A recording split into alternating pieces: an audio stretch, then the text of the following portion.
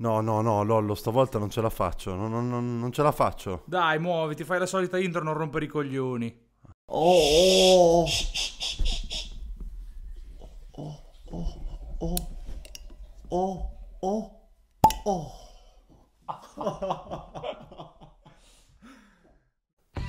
Buongiorno a tutti ragazzi, bentornati. Siamo tornati con Invino Veritas. Oggi abbiamo un ospite super speciale, cioè almeno io sono un po' emozionato. Ah, io uguale, non ho dormito un cazzo stanotte. È tipo esame universitario dopo sì, un po' stati, di anni. sei stati svegli fino alle due a scrivere le domande, a pensare. Ah, sì. Quindi proprio due, due esauriti. Io vi ribadisco che non ce n'era bisogno Perché, perché? Prima ci hai detto perché? Perché non ce n'era bisogno? e Perché? la faccio come tutti. Quindi, eh, se non avete ancora capito di chi stiamo parlando, perché non avete riconosciuto la voce, parliamo di Vincenzo Donatiello. Per i pochi che non sanno chi è, stiamo parlando di sommelier e responsabile di sala di Piazza Duomo, ristorante 3 stelle Michelin, tra i 50 migliori ristoranti del mondo ad Alba. Eh, eh, niente, io sono già bloccato perché sono... Noi abbiamo, abbiamo la lista di domande pronta lì, eh, quindi proprio perché avevamo paura di bloccarci oggi. esatto. Ma prima delle domande vi dico una cosa che è, è scritta anche nella mia biografia del, del mio libro che è appena uscito, che io mi ritengo un tamarro prestato all'alta ristorazione. Ah, questo ci piace, questo... E, e- e lo dimostreremo anche facendo vedere la maglia con cui si è presentato. Esatto. Perché è veramente tamarra, eh, non è che. Carlo Magno, però, oh, Carlos Questa è Magno. dovuta anche a un, un- regalo dei, dei miei ragazzi che mi hanno fatto un, un voucher per una boutique di Alba e quando sono entrato ho visto questa felpa, non dirò la marca ma è molto grossa, è stata proprio amore a prima vista proprio per... Che grande. E quindi niente. eh, Cominciamo subito, magari, dai, introduciamo un attimo la figura che abbiamo davanti, quindi, e chiediamo a te, Vincenzo, magari di parlare di chi sei, perché sei molto giovane, no? E già lavori... Molto togliamola adesso, sono giovane. Vabbè, tu hai 35 anni, noi ne abbiamo 30, 30, quindi siamo giovani, dai, siamo giovani. Ehm, allora, chi sono? Io appunto da qualche anno, oramai quasi otto, mi occupo della gestione della sala e della cantina del ristorante Piazza Doma d'Alba, 3 stelle Michelin, siamo costantemente da 7 anni tra i migliori 50 ristoranti del mondo, però come ho detto prima non mi ritengo un, un superman della ristorazione, sono una persona che ha fatto, continua a fare quello che, che gli piace e, e ci mette tutto il, il possibile. Come ho detto spesso, visto che tanti vanno fuori dall'Italia e poi tirano merda sul nostro paese, Oh. se a 35 anni sono già 8 anni che faccio questo lì, vuol dire che un minimo di meritocrazia in questo paese c'è. Se vogliamo cambiare le cose, cambiamole da dentro. Oh, finalmente qualcuno che non sia un, un maledetto esterofilo che ci parla sempre di quanto siano belli e bravi gli altri, solo belli e bravi gli altri. Oddio, quando- io sono esterofilo su una cosa, io bevo al 90% Borgogna. Vabbè, cazzo, ok. Ah, cazzo, allora chi io sono Vabbè, esterofilo? eh, se avessi la possibilità anche io berrei solo Eh, Borgogna, eh, scusa, grazie no, al cazzo. No, no, ci mancherebbe. Mm, grande. Il libro che ha scritto, che è appena uscito, che si chiama Io servo, ok? Io ve lo consiglio veramente in maniera proprio fortissima perché spiega proprio tutto quello che c'è dietro una persona del genere. E io leggendolo ho avuto anche, io occupandomi, mi occupo di marketing, anch'io ho a che fare con clienti, con aziende, ma anche con ristoratori. Mi rendo conto di quanto possa essere utile non solo per chi vuole lavorare nella sala, ma anche per chi lavora generalmente con i clienti e deve farli sentire un po' a casa, deve accoglierli in qualche modo. Ci sono delle parole comunque che mi hanno... Perché poi devi vendergli qualcosa anche te, non è che. Sì, No, beh, ma cioè, quindi certo. comunque è tutto, fa tutto parte del. No, di, di- di entrare in empatia con la persona. Sì, esatto. Per, per comunque cercare di proporgli e trovargli un servizio adatto e comunque riuscire a perché, venderglielo. perché tanto- la persona sia contenta, perché poi il marketing oggi più che mai, adesso poi ritorniamo a parlare di ristorazione, si basa sulla fidelizzazione, quindi fidelizzazione non detta in maniera fredda, cattiva, brutta, no, in maniera di proprio accoglienza, quindi in questo senso per me il libro è stata veramente una, una scoperta proprio di formazione per me stesso, quindi compratelo assolutamente, veramente lo diciamo a cuore aperto, noi l'abbiamo comprato, eh, ci siamo opposti al, al farcelo regalare, giustamente, no? Cosa dici? Sì, no, No, abbiamo, no. abbiamo deciso di, di comprarlo. Bravi, Poi- bravi, compratelo. Poi, poi Vincenzo ci ha voluto anche regalare due copie ulteriori per noi, quindi questo ci fa molto piacere, però volevamo comunque sapendo poi che è stato tutto autofinanziato, Esatto, sì. quindi cioè, ci faceva anche piacere un po' sostenere la, la cosa progetto, perché sì. comunque sia è, è giusto anche, no? Assolutamente, assolutamente. Adesso entro a gamba tesa perché avete detto una cosa giusta, nel senso vuol dire che il messaggio del libro sta arrivando. E il fatto della fidelizzazione, il fatto dell'accoglienza. E io quando ho finito il libro, poi l'ho rivisto svariate e svariate volte, ho pensato che questo libro è sì rivolto a chi vuol fare il cameriere in maniera seria, Sì. è rivolto a chi lavora con il pubblico e c'è anche un altro risvolto, è rivolto anche ai clienti perché possano capire cosa ci spinge ehm, a fare questo, cosa ci spinge a dedicarci completamente all'accoglienza. Quindi sono contento veramente che, che il libro abbia, cioè che il messaggio sia passato. Più che contento visto che abbiamo detto che dobbiamo essere anche un po' più eh, punk a cazzo duro. Sì, proprio. cazzo. Ok, Vincenzo ha capito perfettamente qual è il mood eh, di Invino Veritas, questa quello- cosa ci fa veramente piacere, perché poi appunto no, noi ci immaginiamo, no, nell'immaginario collettivo del, del sommelier di altissima ristorazione come, come sei te, e, e ulteriore- ol- oltretutto anche responsabile di sala, cioè quindi non è che sei lì solo a sbicchierare, cioè sei una, una figura molto importante ovviamente di, di questo ristorante.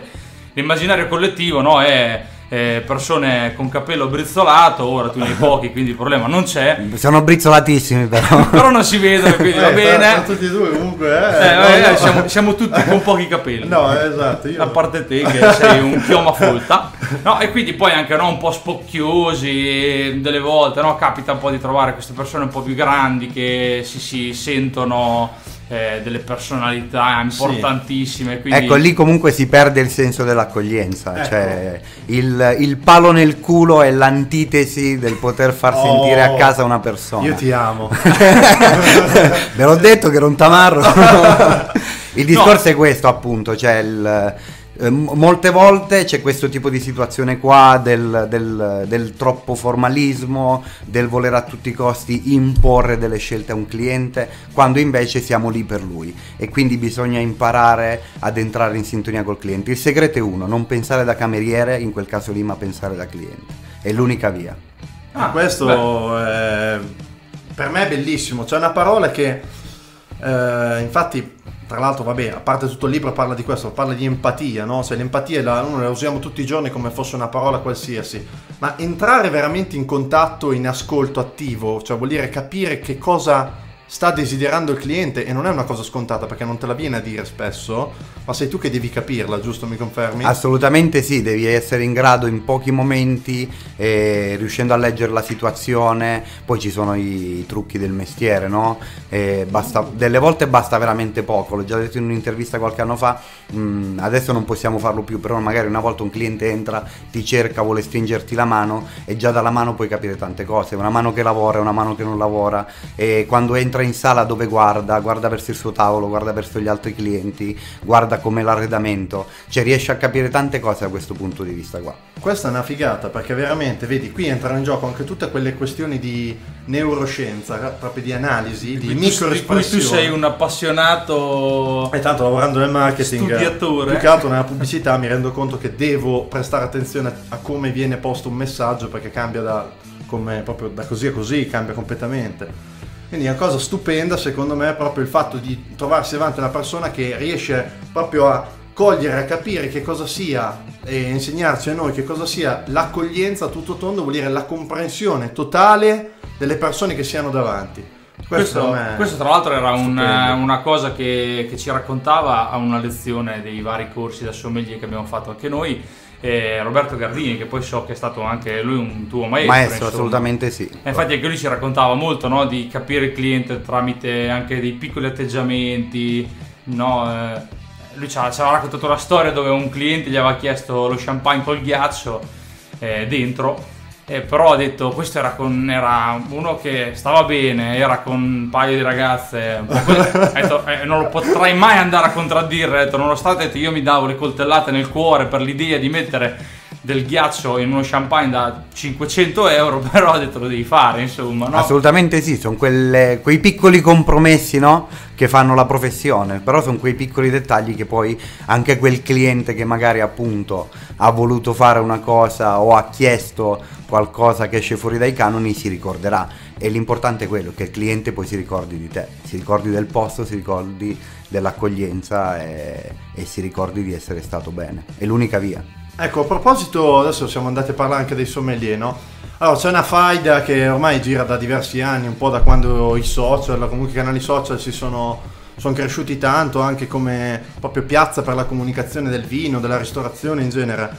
E la, la cosa che mm, si vede è un po', questi, c'è questo scontro tra una vecchia scuola, chiamiamola, e una scuola nuova di comunicazione, no? Che diciamo in generale formata un po' la vecchia scuola dei giornalisti che magari scrivevano, scrivono ancora sulle riviste, eh, magari provano a digitalizzarsi un po', ma magari non ce la fanno e non riescono ad attrarre il pubblico che invece eh, a- viene- arriva praticamente davanti a tutti questi influencer, da- di fronte a tutti questi comunicatori nuovi del digitale che sono partiti magari da zero, da una passione, nel senso senza doversi rifare a riviste importanti, Sì, eccetera. magari senza anche dover aver, aver scritto 5 milioni di articoli gratis per eh, 97 miliardi di riviste. Noi siamo Esatto. abbastanza schierati. per, po- sì. per poi di- per poi dire ah ma io ho fatto una gavetta pazzesca e quindi te non è giusto che Eh. hai questo seguito fate schifo bla bla bla È come se non ci fossero no, competenze poi dover capire come funzionano certi canali e le dinamiche sociali dietro a questi canali.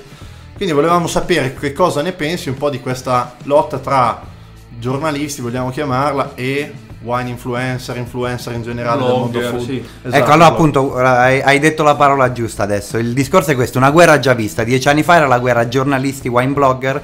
Poi i giornalisti hanno capito che la carta stampata stava andando alla deriva, sono diventati egli stessi wine blogger. E salvo poi scontrarsi oggi col successo dei wine influencer su Instagram. Bene, io sono per gli influencer perché se l'influencer è serio e ne ho conosciuti, ho avuto modo anche di assaggiare con alcuni di loro spesso. E devo dire che mh, non ho mai visto soltanto delle belle cartoline che erano bravi sui social, ma soprattutto ho visto che c'è della competenza. Cioè, ben venga chi ci racconta il vino dicendo: Oh, guarda che figo sto vino se me lo bevo tra le vigne, se me lo bevo in piscina. Soprattutto infatti- appunto piscina, pool wine, Piscina. l'altro mio Eh, progetto.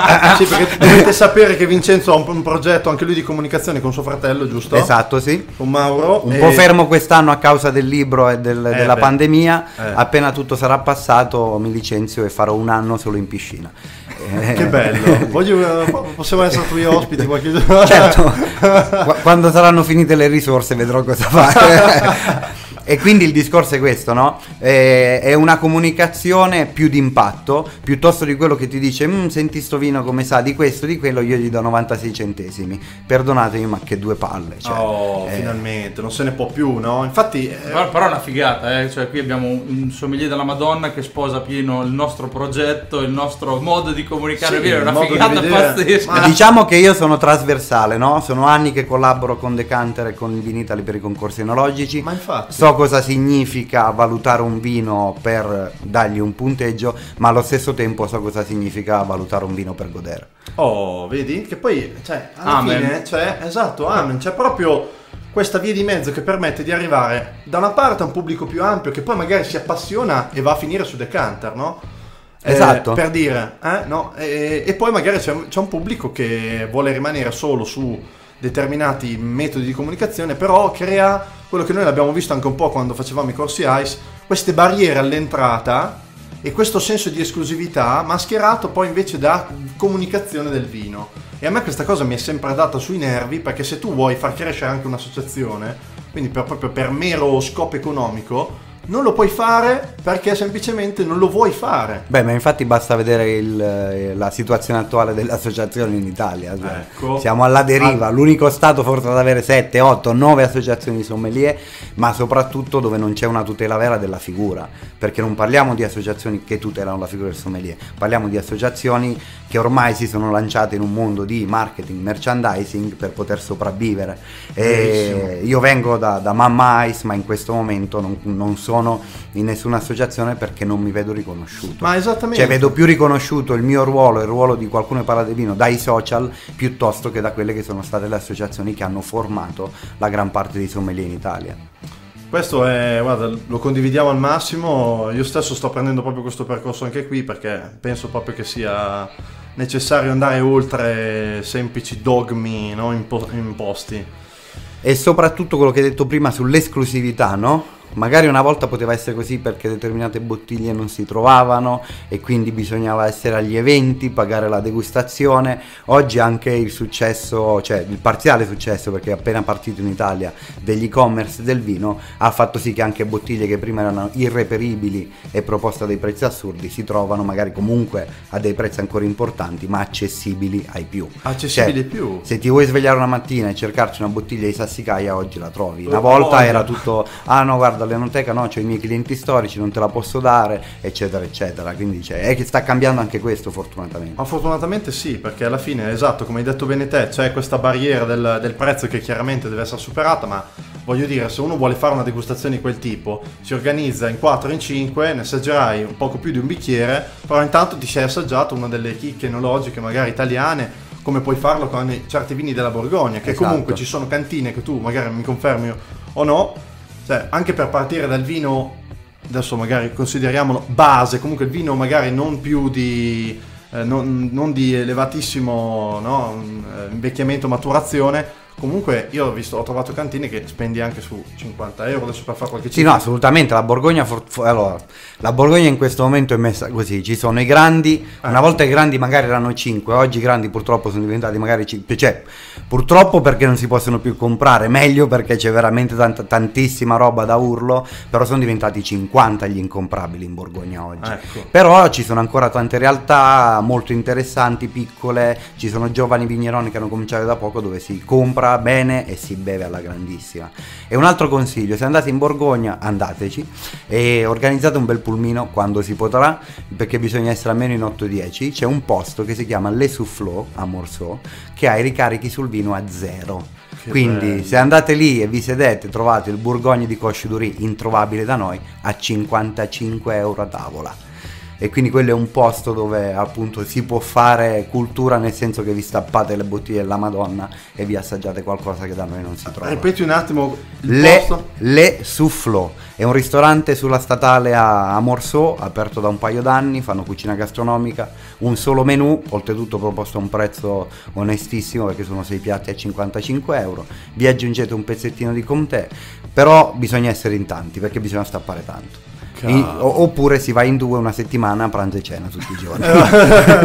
Avere una media di tre bottiglie a Figlie. pasto, così dai. Io allora io ci ho 72, portato i miei 42. ragazzi, venivamo da una giornata importante con quattro cantine, quindi non abbiamo bevuto proprio tanto tanto perché abbiamo fatto sette bottiglie in nove. Di fianco a noi c'era un tavolo di tedeschi in quattro che ne hanno fatte nove. Cioè un, un po' mi vergognavo perché cioè, conoscendoci potevamo dare di più, però sì. eravamo veramente stanchi. Beh, però venivate già da, Sì, da un esatto. bel tour de force. Venivamo eh, da- da una giornata da un piena piena. alcolico, insomma. è Sì, sì, diciamo che zero, anche se vuoi sputare, cioè, è inutile. Poi, soprattutto quando assaggi delle batterie da produttori importanti, l'ultima cosa che vuoi fare è sputare. Quindi l'abbiamo Sì, ad esempio- sentita. Ad esempio, noi eravamo in cantina, infatti ci hanno dato la sputacchiera, la cantina che ci hai consigliato te, adesso non facciamo nomi perché. poi- No, dopo lo facciamo. Dopo lo facciamo perché ne beviamo una. Eh, però anche loro no, ci hanno dato la sputacchiera e noi li abbiamo guardati, no, guarda, noi di solito, insomma, se, se è come penso non, non siamo soliti sputare, infatti poi l'ha riportata via e- ed è finita lì, insomma, la, Sì. la questione sputacchiera. Sì, dopo un po' infatti i- gli ultimi vini che avevo assaggiato non ci capivamo più niente perché erano... Sì, è un peccato perché alla fine ci ha fatto sentire tutti i vari crudi Barolo. E la sfumatura l'abbiamo capita almeno, però adesso vabbè, ce le siamo comprate, ce le riassaggiamo. Eh, la, la prossima volta, una volta che chiedete il, ehm, la visita, dovete già avvisare che bisogna partire dai cru e poi scendere. Esatto, scendiamo dopo perché altrimenti qua in salita a un certo punto stavamo scalando l'Everest.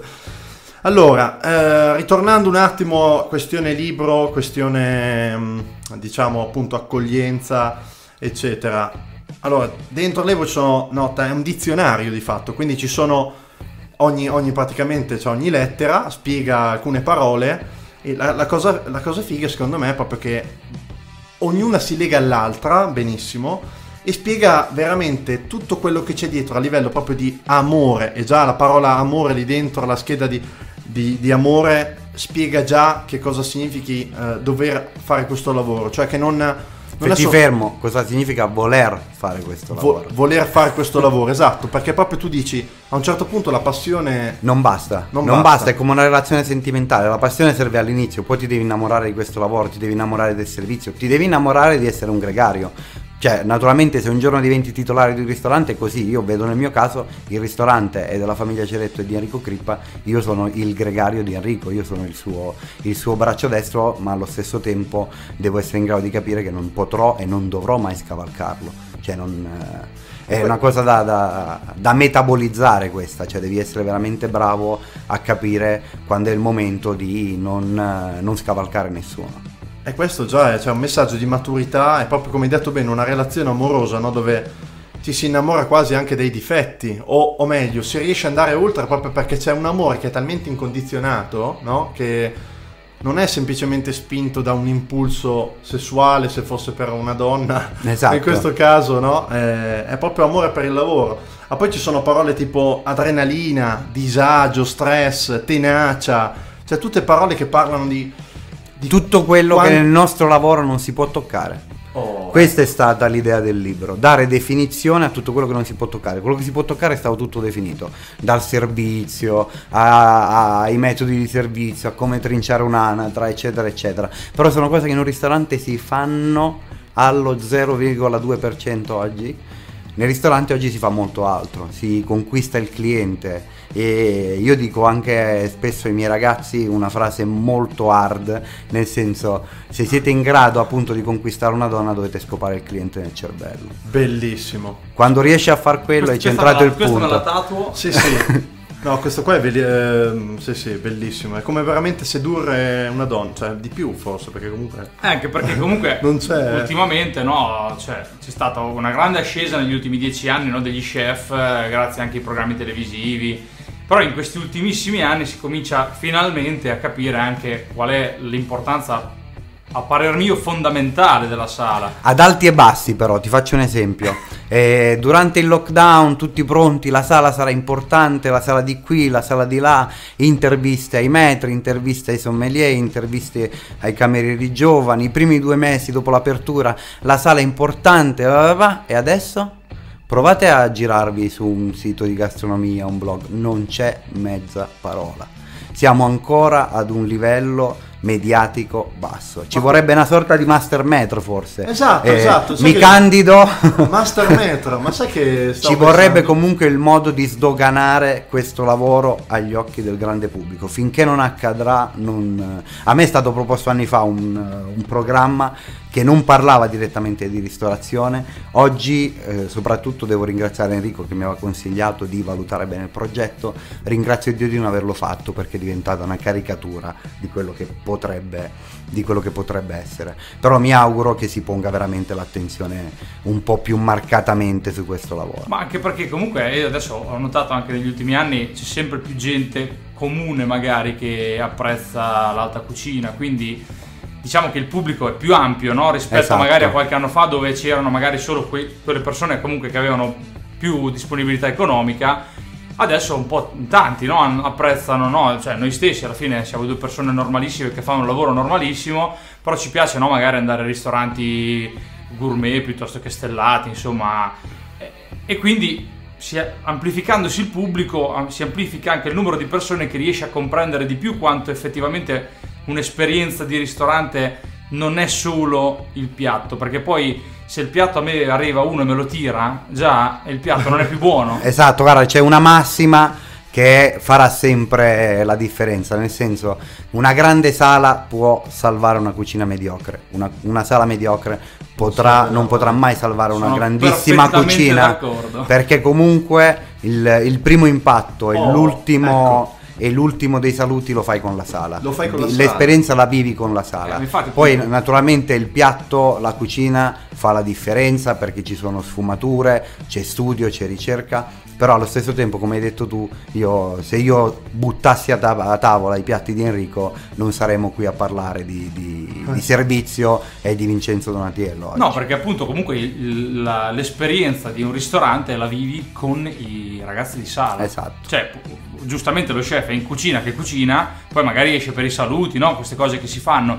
Però alla fine la tua esperienza, che può essere un percorso di 2-3 ore, immagino, no? In un Sì. ristorante come da voi, eh, come il vostro. Quindi un'esperienza di 2-3 ore, stare 2-3 ore a contatto con la sala, è lì che ti senti bene, ti senti a tuo agio e ti godi la giornata, perché poi i piatti possono essere buoni quanto vuoi, ma se non stai bene, no? anche nel tuo dizionario moderno per camerieri no? c'è la parola disagio, se sei a disagio può essere la roba più buona del mondo, ma in verità Ma non va bene. puoi andare via perché non stai bene, non sei tranquillo, non, non te la Esatto. godi. E soprattutto se della sala ti passa disagio, che tu dici proprio vietato, no? Cioè nel senso vietato far passare una sensazione di negativa comunque alla... Non può, non ci deve essere. Non ci deve essere. Anche nella peggiore delle situazioni, e ve ne racconto una. L'anno scorso un cliente americano, eh, la prima cameriera che gli passa a tiro la chiama, c'era l'agnello a tavola, comincia a chiedere la temperatura al cuore dell'agnello e gli spieghiamo che per quanto riguarda quel tipo di carne Enrico cuoce in padella, non usa il termometro, ma va alla vecchia scuola, quindi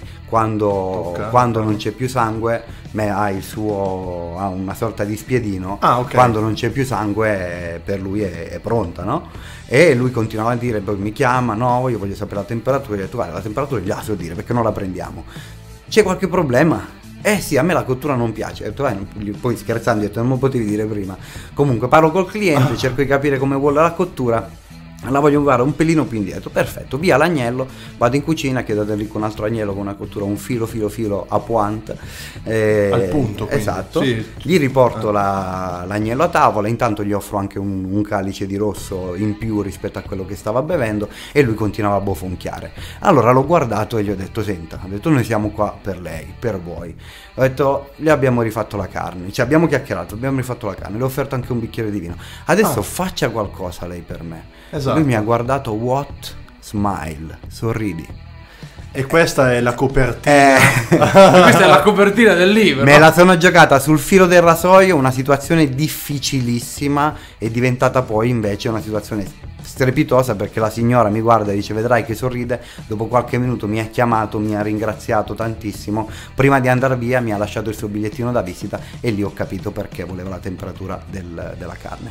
Era, dal, venivano dal Texas e lui era il proprietario di una catena di steakhouse. Ah, ecco. Ho capito. Ah, Eh, ecco. Ma normalmente gli americani so che mangiano la carne, no? Tutta un po' più a temperatura più alta, no? Ma no, dipende, cioè Dipende. tendenzialmente hanno più cotture di noi. Eh, più sì. cotture sì, Cioè se vero. da noi esiste la cottura al punto, quindi comunque ancora con una, una punta di sangue, media e ben cotta, Ben cotta. loro hanno molte più sfumature, Sì. perché si va dal rare al medium, Medium rare, rare. al medium, medium well, Uh. well done, eccetera, eccetera. sì, C'è sì, un po' certo. più... Fino ad arrivare a quella con la più a sangue, la mm, blu. Sì, Prima esatto. ancora sì, la blu, vabbè che poi praticamente è cruda. È come ti fanno un po' la, la Fiorentina e i Toscani, alta così, te la blu, fuori bruciata, dentro fredda. Ma eh, però per esempio No, io, scherzando. io adoro la... Per me la carne quando inserisco il, il coltello deve muggire ancora. No, guarda, eh, parli con due Ma- che... parli cioè, con eh, gente proprio- che ma- mangia le mucche a morsi. Sì, Quindi sì, no, adesso i vegani si incazzano, Per ma carità, ce ne faremo una ragione. La carne co- stracotta, è, anche se fosse ipermarezzata, No, una poi perdita. diventa- No, assolutamente, diventa... Diventa una soletta tipo quella che abbiamo mangiato l'altra sera. No? Buonissima, buonissima, andate un po' so, Do- è dopo, dopo ti raccontiamo. Ma in langa? sì, no, Oh, ma Cristo. è stata sfortuna- una cosa sf- molto sfortunata. Ecco, dopo. Oh, e poi stata- parliamo dopo con calma fuori dai microfoni. È stata ripagata dalle serate che abbiamo fatto Sì, ieri, dagli, da dagli altri pasti. dalla- Dagli altri pasti che abbiamo fatto questi giorni. Esatto, esatto. Oh, ferma, ferma, ferma, ferma. È un ospite del genere, mica ce lo possiamo giocare tutti in una puntata, cazzo. Se volete ascoltare tutto il resto dell'intervista, bisogna che mettete like alla pagina Facebook In Vino Veritas, attivate le notifiche e aspettate che esca la seconda parte.